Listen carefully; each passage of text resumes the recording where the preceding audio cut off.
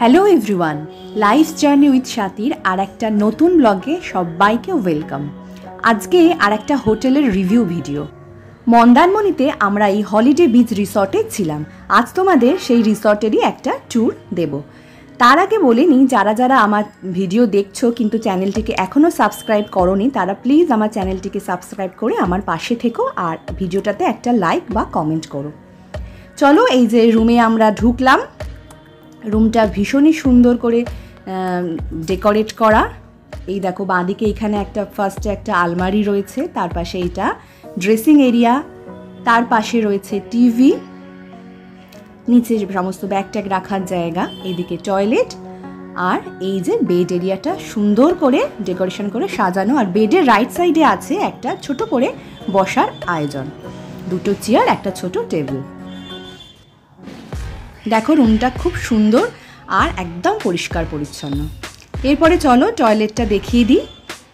এই যে টয়লেটটা বেশ বড় সাইজের একটা টয়লেট এবং এতে সমস্ত কিছুই রয়েছে।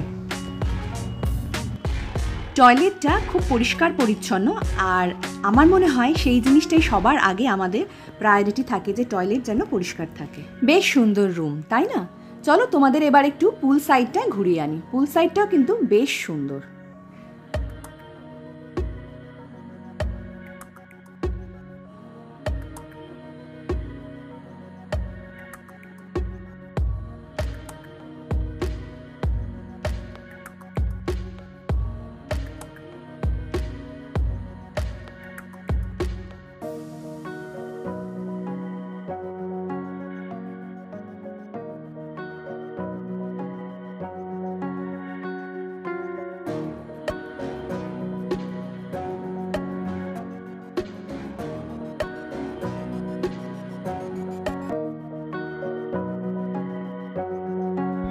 বেড়াতে গিয়ে আমরা যখন কোনো হোটেল বা রিসর্টে থাকি, তখন সেখানকার খাওয়া দাওয়াটা কীরকম সেটাও কিন্তু একটা খুব ইম্পর্ট্যান্ট একটা ফ্যাক্টর এই রিসর্টের খাওয়া দাওয়াটা কিন্তু যথেষ্ট ভালো এবং খুব হোমলি আর আমরা যেরকম চাইছি, সেই অনুযায়ী কিন্তু খাবার ডেলিভারি করা হচ্ছে। এটা একটা খুব বড় জিনিস।